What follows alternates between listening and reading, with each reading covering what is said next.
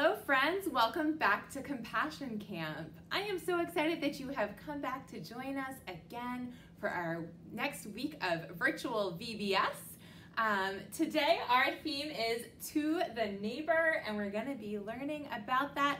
But first of all, I like to welcome my friends by name. So I have a couple of you guys that I want to welcome by name, but first I will start by welcoming all of you guys. We're gonna look through our window. Today we're gonna look through our circle window. If you hear your name, make sure you wave and say hi to me. All right, you ready? Looking through my window, guess who I could see? I see all my friends, they're waving back at me. Hello. Hello, friends. Welcome to Compassion Camp. Let's change our window out. Today, uh, we are going to switch it up to our red square. Ready? Listen for your name and make sure you say hello. Looking through my window, guess who I could see? I saw my friend Charlotte, she's waving back at me. Hello. Hello, Charlotte. Welcome to Compassion Camp. Let's trade our window out for our yellow triangle. Ready? Looking through my window, guess who I could see? I saw my friend George, he's waving back at me. Hello. Hi, George. Welcome to Compassion Camp. Let's go back to our blue circle and let's see what friend we're welcoming next. Ready? Looking through our window, guess who I could see? I saw my friend Lydia, she's waving back at me. Hello. Hello, Lydia. Welcome to Compassion Camp. All right, let's go back to our red square and say hello to another friend. Looking through my window, guess who I could see? I saw my friend Teddy, he's waving back at me. Hello. Hi, Teddy. Welcome to Compassion Camp. All right, back to our yellow triangle. Looking through my window, guess who I could see? I saw my friend Dylan, he's waving back at me. Hello. Hello, Dylan. Welcome to Compassion Camp. All right, so as we go along week by week, we will welcome more of our friends, but let's do one more welcome with our red square to all of our Compassion Camp friends. Ready? Looking through my window, guess who I could see? I saw my friends, they're waving back at me. Hello. For spending time with me at Compassion Camp. All right, so last week we started talking about compassion. We talked about having empathy when we see something that maybe we see someone feeling something, we feel it too, and then we want to do something to help that person out. Uh, so remember my example of a yawn we see someone yawn, we often yawn too, right? And we also talked about what it feels like to step on a Lego. Oh, that's the worst. I can feel stepping on a Lego without having it Legos anywhere near me. So when we understand other people's uh, pain, it makes us have empathy, we feel it, and we want to do something for them. And today we're going to talk about how having compassion and empathy, sometimes we need to be brave. Uh, so today's theme is to the neighbor, and a lot of it has to do with bravery. And I know a lot of you friends out there are super brave. So let me see your big brave muscles. All right, good work. Let's uh, give you guys some examples uh, because sometimes we see things and we think, man, I really wish I could help that out, but I'm not sure how, or I'm a little afraid to do that. So I'm going to give you some examples of friends that might have uh, some ways to help others, and maybe you can help me figure out ways that they could, things that they could do to be brave and, and help other people. So my first example is Mia. Mia has extra food in her pantry. How could Mia be brave? She's not gonna eat the food, and she knows that there's other people out there that might be hungry. Oh, that's a good idea.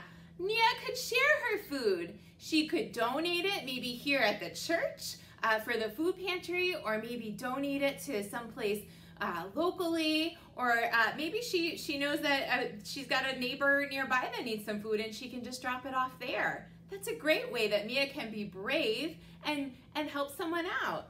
All right, what about this one? I know a lot of my friends have been swimming lately. So Taylor is a lifeguard. When someone is struggling in the water, Taylor can be brave and what is something brave that lifeguards do? Right. They can save, he, Taylor can save the person or he can remind the person to go move down to where they can touch. Lifeguards help keep us safe at the pool. All right, here is another example of another friend who needs some help being brave. All right, Jaden sees a friend picking on a younger child. Jaden can be brave and do? Let me hear you. Yeah, Jaden could stand up for that child. That can be hard, can't it? Sometimes we're afraid that if we stand up for someone else, we might get picked on too. It takes a very brave person sometimes to stand up for someone who's being picked on. All right, here's another example. This one isn't about a student, it's not about a child, it's about an adult. Let's see if we can help this adult out. This adult's name is Ms. Perez. Ms. Perez notices her students are restless and need a break. Ms. Perez could be brave and what's something good that your teacher could do if everyone's having a hard time focusing and they need a break? You guys, what a great idea. I heard lots of good ideas. You could get up and move about a little bit, maybe play a game, sing a song. If your teacher has GoNoodle, that's a good brain break, right? Uh, those are all good things that Ms. Perez could do. Instead of continuing to try to teach, she could take a break with her students and get everyone to focus again. All right, here's one more. It's also an adult. So Dr. Wynn hears some people need medical care but cannot afford it. Dr. Wynn can be brave and yeah, he can treat those people anyway, right? That's a tricky one and something that adults could deal with, right? You don't have to worry about that as a preschooler. But there are lots of opportunities for us to be brave from the time we are very little until the time we are all grown up. Uh, and, and so there are times for your parents to get to be brave and times for you to get to be brave. I have seen a lot of brave people lately. I have seen brave people uh, working at grocery stores, brave people helping other people, brave people wearing masks in all sorts of situations to keep other people safe. Um, I have seen so many opportunities for people to be brave. So I hope you find some ways to be brave. Show me your big brave muscles again. Awesome. You guys look super brave. All right, we're going to continue with our day with some music about being brave.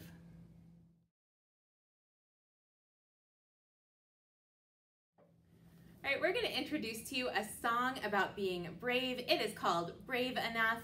Um, when you hear the word brave, make your big, strong, brave muscles. This song repeats a lot, so please feel free to join us or you can rewind and play again. Um, but make sure you have those big brave muscles ready to go. All right. right,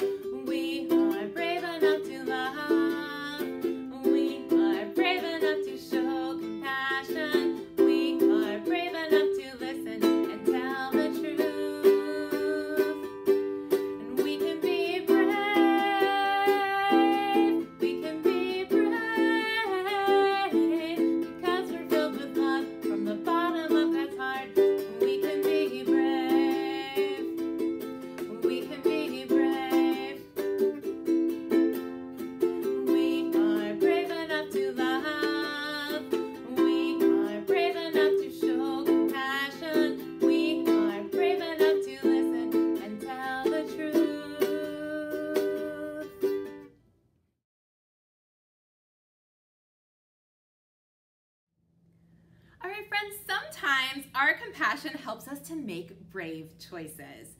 And when we do, look out! God's power can restore our communities, our friendships, and ourselves. We're going to hear a story in just a moment about some friends who were really brave and showed compassion for their friends.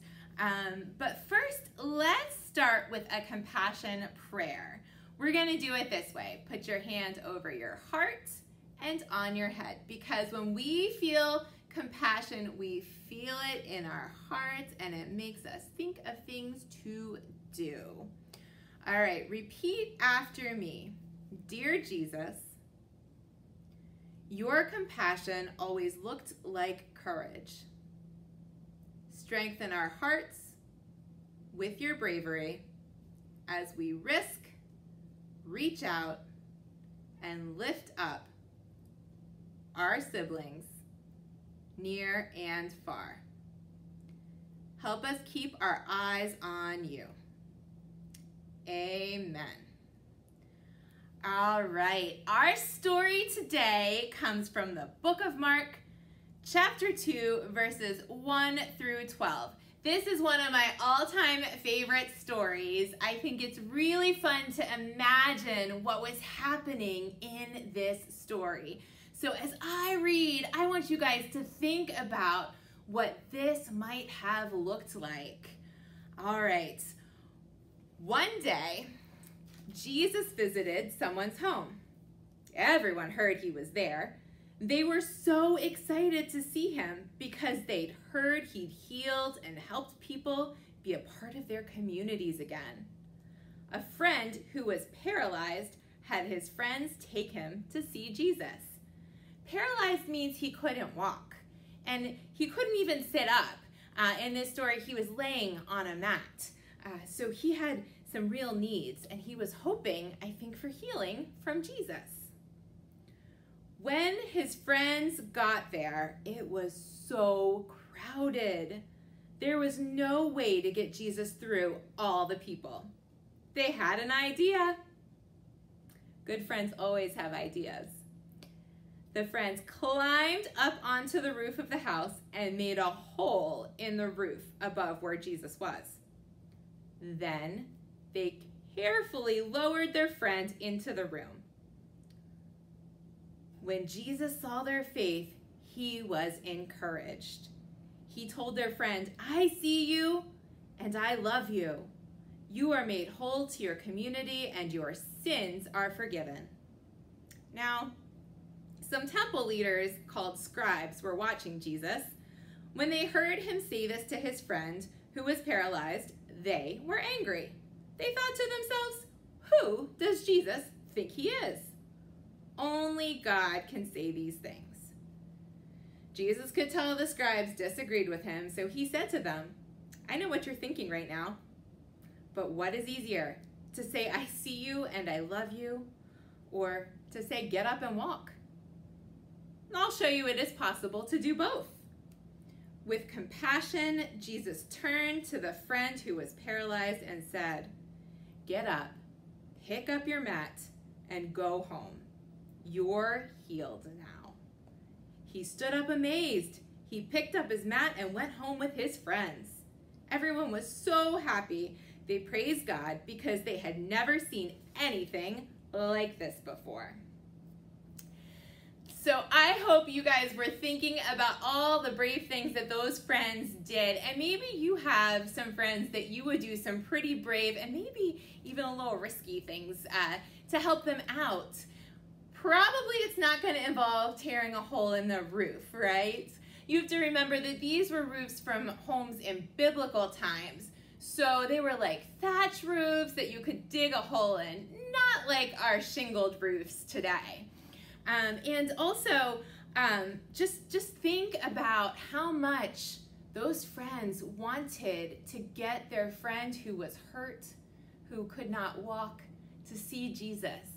How much they wanted to risk to make sure that their friend could be healed and well and be a part of their community again, be able to do things with them again, be able to walk, be able to work, Uh, these are all things that this man now could do because Jesus healed him. And those friends were willing to take a big time risk to do that. I always think it's a fun story to imagine in my mind. I always think, I wonder if Jesus was like, hmm, what is that dust coming from the ceiling? Um, and I think that this is this is just a really neat story to show how much um, friends will do to help each other out. Um, we might think we only need to be brave for big, scary things. We might think being brave is only for superheroes.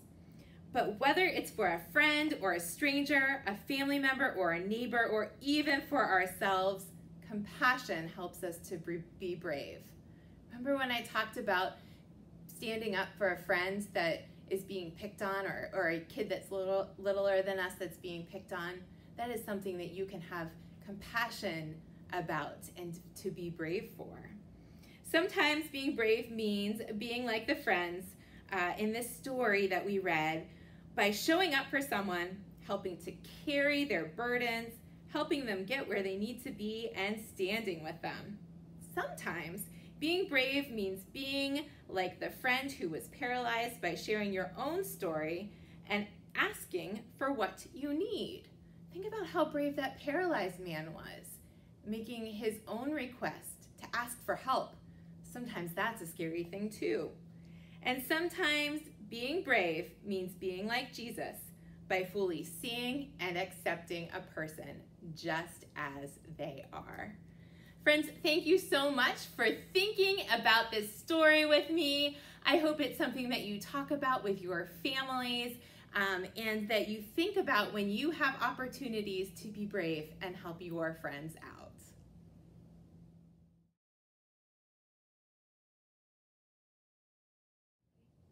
Hi friends! Okay, so today we are going to do our compassion action, which is going to be a hug. So we are going to be sending that to someone, either a friend, a neighbor, grandparent, someone who you haven't been able to hug, or someone who you think needs a little bit of encouragement right now so they can be brave. So how you're going to make your hug is you're going to take a piece of paper and you're going to trace your hand on the piece of paper just like this.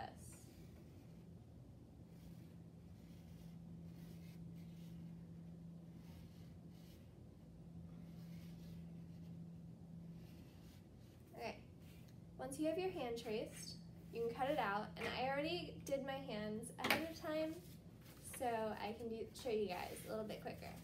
So I have my two hands here, and I'm going to take a piece of string, which is as long as my arms are. So it's like I'm actually giving the person a hug, and I'm going to tape it to the hands. I'm going to take the one and tape it right here, and the other, and tape it right here. So then on the other side, you can write a note to whoever you're giving you're giving your hug to. I'm going to be giving my hug to Pastor Mike to welcome him to the church, just to make him feel welcome. Okay, so I'm going to write, welcome to St. Matthew's.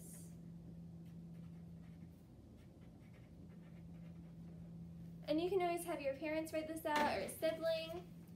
So I'm going to put my together and put it into an envelope addressed to the person so then I can give it to them or you can write their address and send it to them. There's the hug that he made. Hey friends, thanks so much for joining me today for Compassion Camp. We can't wait to have another day of Compassion Camp with you again next week. Uh, we look forward to saying hello to you all, teaching you a new song, and teaching you a new uh, Bible story and a new compassion in action. So we look forward to seeing you again next week. Thanks so much for spending time with us.